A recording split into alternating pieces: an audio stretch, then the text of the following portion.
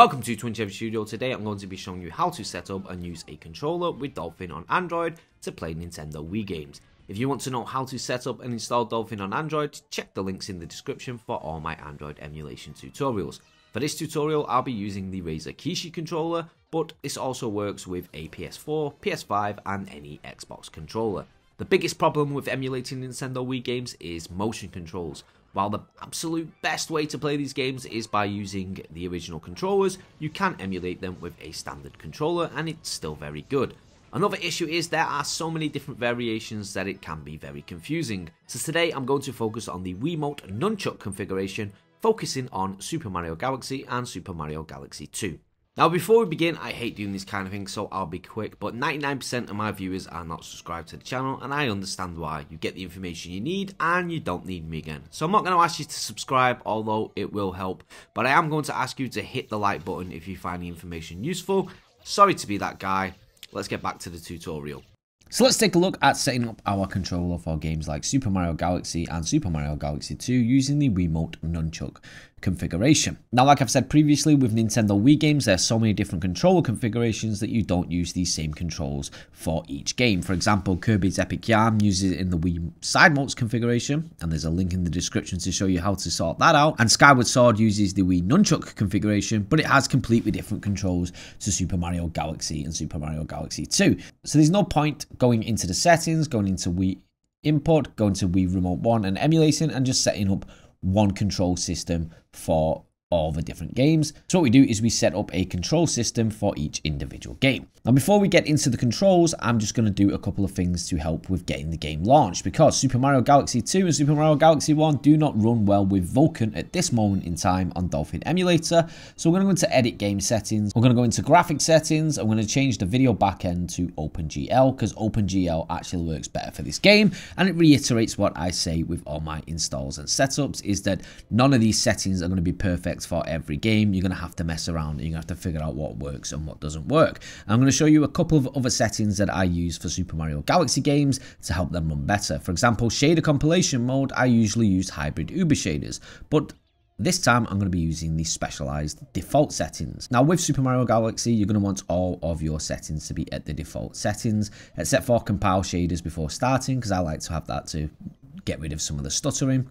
So in enhancements, internal resolution, we keep it at 1 times native. There's no way we're getting 1080p on an Android phone. I haven't got the Snapdragon 8 Gen Plus, but I'm pretty sure that you're not going to get 1080p on a game like Super Mario Galaxy on that either. The next thing is in the hack section. We're going to keep the standard skip EFB access from CPU to its default of off. And as we scroll down, some of the other settings that I usually change, like store XFB copies to texture only, going to keep that on. All of these settings need to be the default setting. And if you want to make sure of that, you hold down on the setting and it'll restore the setting to its default value. So if I turn skip EFB access from CPU on, and then I want to change it back to the default, just to make sure it is the default setting, it'll clear it and set it to that. So that's the game settings sorted. Next, we're going to check out how to do the controller itself. So in the settings menu for the game, so I'll just go back and show you that again. I'll hold Super Mario Galaxy 2, hold it down, I'll click edit game settings and I'll go to Wii input. Wii remote 1, emulated. Now we need to set up our controller. So we'll start with the extension because we need a nunchuck for this game. This game will not run without a nunchuck assigned to your Wiimote. And for the buttons on C, I usually have C, I just press in the left analog stick on my controller. I'm using the Razer Kishi, but the Xbox controller, the PlayStation 4, the PS5 controller, these all work with this method as well. And then for Z, I like to use the L2 button because it is the ground pound, and I like to ground pound with the Z button. For the stick, this is the analog control, so I'm going to press up, up, down, left, right on my left analog stick because this is the movement stick.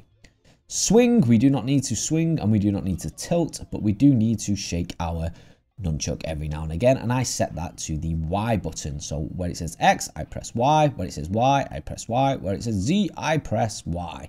Now this will simulate shaking the nunchuck whenever I press the Y button. We go back and then we go to the button. So A is the jump button. I like to use A for the jump button. So we're going to press A And then B is the back trigger on the Wiimote, which usually shoots Yoshi's tongue or stars. So I set that to the right trigger. We're going to be moving the analog stick to move the pointer on the screen, and it's much easier to press R2 instead of moving your hand over to B, X, and Y, because the second you let go of this analog stick, the pointer moves to the middle of the screen.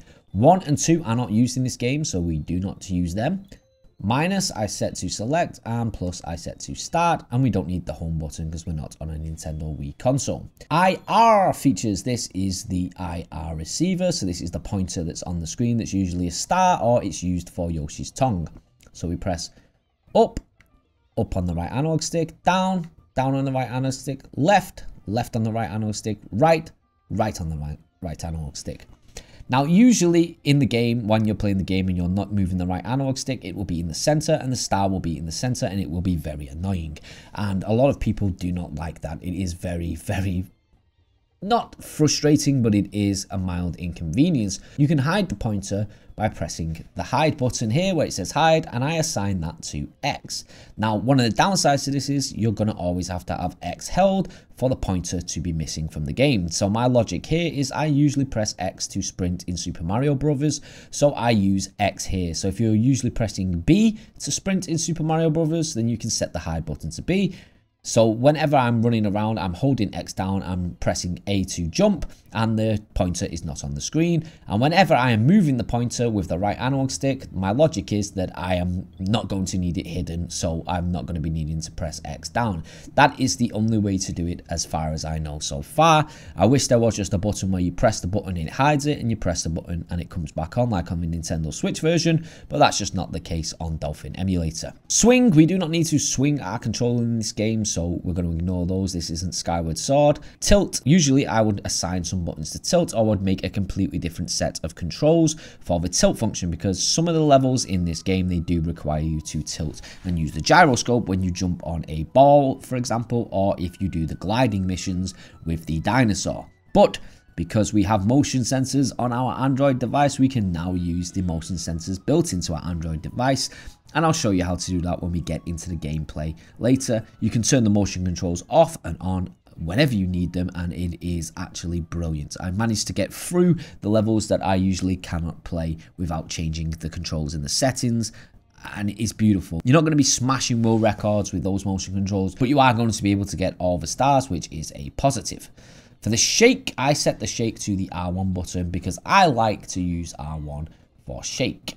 So this simulates shaking just the Wiimote. If you want to shake the Wiimote and the nunchuck at the same time with this configuration, you press Y and X together. The D-pad, not really used that much in these games. It's mainly for camera stuff, but I set it to the standard D-pad anyway, just in case I do need to use it.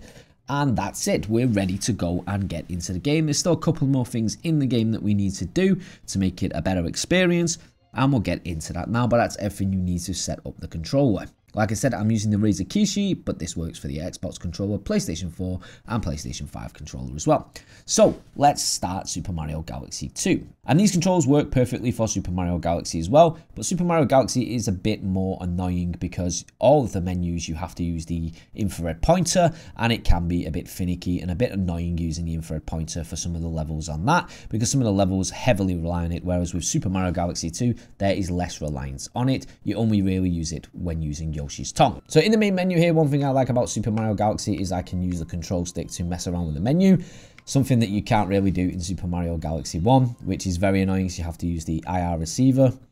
But really fast load up, 60 frames per second in the hub. Sometimes that will drop down to 50 or 45 a lot, but it's completely playable and it is still a fantastic experience. As you can see, the pointer here, the right analog stick, I'm using the right analog stick to move it around. You can use touchscreen if you want, but when you use the touchscreen, sometimes it does disable the right analog stick, so be careful of that. So you can use the touchscreen to touch around, but it's not really a great experience when playing the game with a controller. It is fantastic, however, when you're using touch controls. So, so let's say you started up the game and the controls are on the screen, the overlay controls, and you want to get rid of them because you're using a controller. If you press back on your Android phone, go to overlay controls, and then where it says toggle controls, click that, click toggle all, and all the controls will disappear, and we get that console-like experience. Another thing we're going to want to do is in the overlay controls, maybe your star hasn't appeared, and that's because the motion sensors are active. So if we go to overlay controls and motion controls here, you can see I've got it set to don't use device sensors. And I said before that you're going to need the motion device sensors for the gliding and things like that. But the problem is if you use device sensors, and click OK, you can see the pointer has disappeared. And when I move the right analog stick, it doesn't it doesn't move it and it doesn't appear. And that's because I have to lay the phone flat for it to appear because it's using the motion sensors as if it was a Wiimote. Even when I put motion controls and I set it to without pointer emulation, it still doesn't register it. So I use don't use device sensors up until I get to the part where I'm gliding and I'll show you that in a second. Then I activate the motion sensors and then I complete the game and unactivate them anyway because I've got the shake and everything else that I need to play the game mapped out to certain controls. So let's just check a few things while we're here and then I'll go into the motion controls and the tilt as well. So if I press and hold X, which I normally do to run around anyway, you can see that the pointer is missing from the screen and I can jump, run and play around. But if I need the pointer for Yoshi, so let's go get Yoshi. So I need the pointer for Yoshi, so I let go of X, I move to the right analog stick and then I can use B, the right trigger, to get up. Nope, completely missed and fluffed that. I'm going to have to do that again. Cut that. So I can now use the right analog stick to grab the flowers and grab things that I need to eat. And it works as it should. You can use the left trigger if you want. You can change it to the left trigger or the right trigger. I just prefer the right trigger because I'm naturally playing it as if it is kind of like an FPS shooter.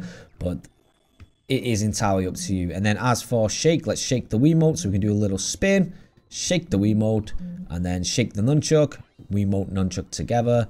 As you can see, the pointer moves as well. Everything is working as it should. So let's say you've got yourself to Wild Glide Galaxy, and you need to use the motion controls to complete this level. Now, usually in the past, I'd exit the game and I'd create a new controller profile that made sure that I could glide using L1 and R1, and I could move forward and backwards using R2 and L2. Then I'd finish the level, I'd come back out of the game, and I'd create the controller profile that I had originally, especially on PC where I have a device with no motion sensors on it. So what we need to do here to activate the motion controls at this particular moment, we press back until we get the blue menu at the side, this lovely blue menu that I love so much.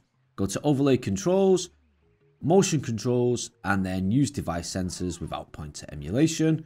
Click OK. So this means that when we move the device around, it won't simulate moving the pointer as well. Even though the device does have to be lay flat for the pointer to be on the screen, really doesn't make sense. I hope they change that there. So that means that it is in the neutral position. If we had the pointer emulation on, the pointer will be moving around with us and the phone. So if I shake, It'll do the spinny attack. And now if I go to the glide guy, the little bird, I hate these levels so much. I'm so glad that there's not that many in this game. It's one of the reasons I don't play Super Mario Galaxy 1 as much anymore because it does actually rely more on the motion controls than Super Mario Galaxy 2. So let's glide. And I'll just show you now. Here's how we glide. Keep it level and flat. There we go. It's ticked to say that it's flat. And then tilt to the left. Will move us to the left. Tilt to the right. Will move us to the right. Down to do a dive. Now, as you're going to see here, this is not a perfect solution. The motion controls are not as intuitive as a Wii remote, but it does mean that I can actually complete this level a lot easier. So perform the nose dive to get into there.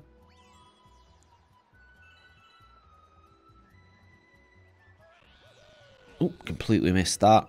Still very, very finicky and not 100% perfect, but it works to get through these annoying levels and it works on the ball as well. And then to get the motion controls back off, back, overlay controls, motion controls, don't use device sensors, and we're just going to crash into the wall here, but now I can go back to just playing the game without the motion controls if I want to. And that's everything that you need to know to play Super Mario Galaxy 2 comfortably on Dolphin Android. All the controls set up, even all the settings and everything that makes it run nice and smooth. As you can see, we are dropping down to 50 frames per second at this point. Most of the time, the game does run roughly 50 to 60 frames per second. It is a Nintendo Wii game after all, and not a GameCube game, and it is a lot more complicated to emulate. So you can see here, we're getting 60 frames per second, and then as we go into the much bigger areas of the level, it kind of drops down to 50 frames per second anyway.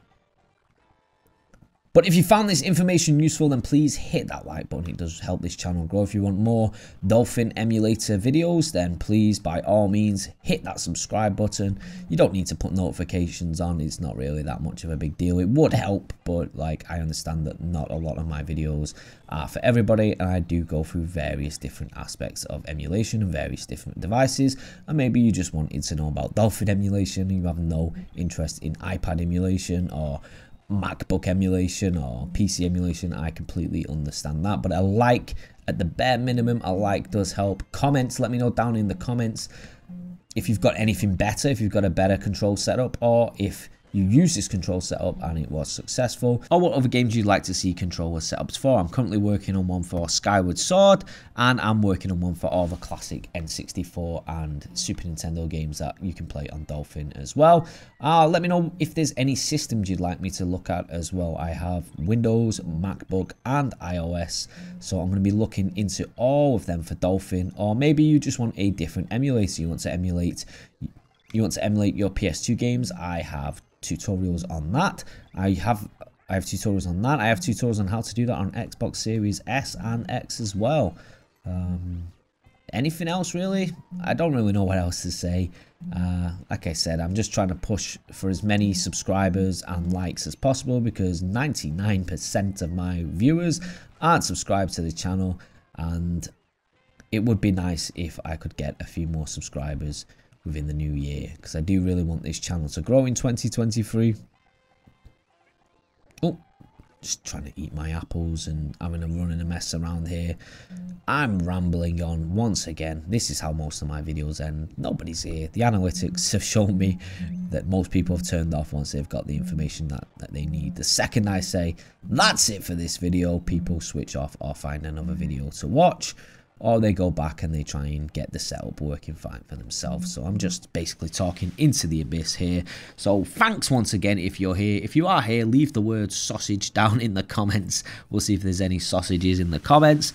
And take care. I hope this video finds you well. Um, have a great new year, great 2023. 2023 is upon us, and I hope you have a fantastic year and all your dreams come true. Bit shit that one, wasn't it? Don't do anything I wouldn't do.